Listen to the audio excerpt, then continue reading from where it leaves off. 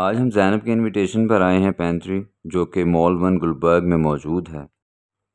ज़ैनब को यहाँ के खाने बड़े पसंद हैं और यहाँ इसने ऑर्डर किया है अपनी पसंद का जलापिनो पिज़्ज़ा और ये पिज़्ज़ा जो है ओल्ड स्टाइल इटालियन पिज़्ज़ा है।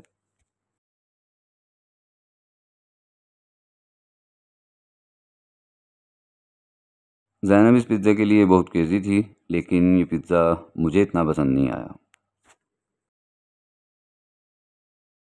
पिज़्ज़ा के साथ ये एक सॉस सर्व की गई थी जो कि पिज़्ज़ा के ऊपर लगा कर खाई जाती थी। अब इसका क्या सीन था, ये मुझे नहीं पता।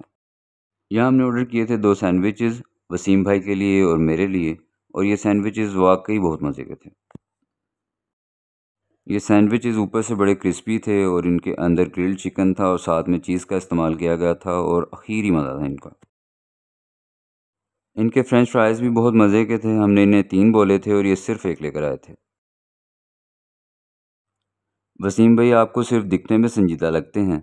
इनका सेंस ऑफ़ ह्यूमर बहुत हाई है और जैनब तो है ही बहुत शौकी इनका वफ़ल भी बहुत कमाल का था और ये इन्होंने हमें तोहफ़तन, हदियतन खिलाया था।